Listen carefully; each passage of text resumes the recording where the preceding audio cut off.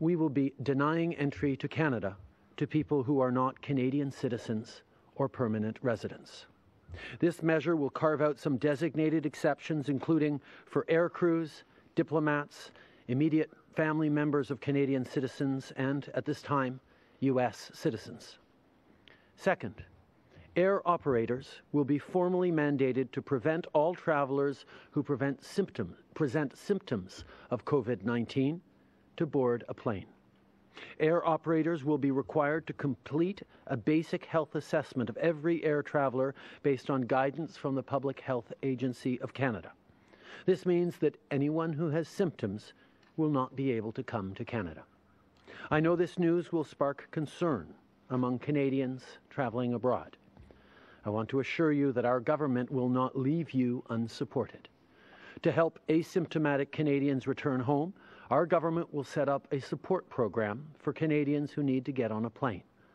Canadian travelers will be able to get financial assistance to help them with the costs of returning home or temporarily covering their basic needs while they wait to come back to Canada.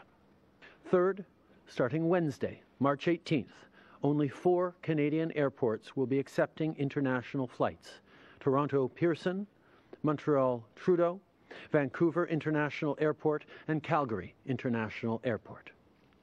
At this time, domestic flights, as well as flights coming from the U.S., Mexico, the Caribbean, and Saint Pierre et Miquelon, will not be affected.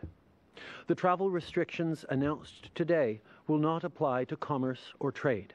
We will continue to ensure the supply of important goods to Canada.